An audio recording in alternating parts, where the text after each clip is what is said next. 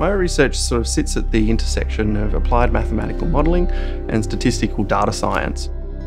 We're bathed in this deluge of data at the moment. We have, for the first time in history, these massive amounts of information about people. But the question is, what do you do with all of that data and can you understand all of it?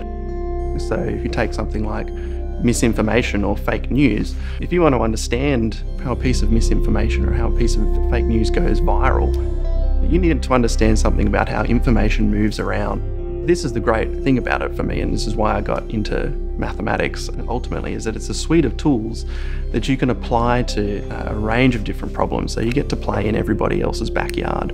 So I didn't originally want to be a mathematician, I wanted to be a physicist. But I was pretty sick of doing lab work um, after a while. And the thing I loved about mathematics is that you could study all sorts of problems and it's fun. You know, I've, I've worked on climate, I've worked on weather, I'm working on Twitter. You know, in a few years I'll probably work on something else. People have this perception of mathematics as very abstract and a bunch of rules that you use without sort of understanding and it's got no connection to the real world. But it couldn't be further from the truth.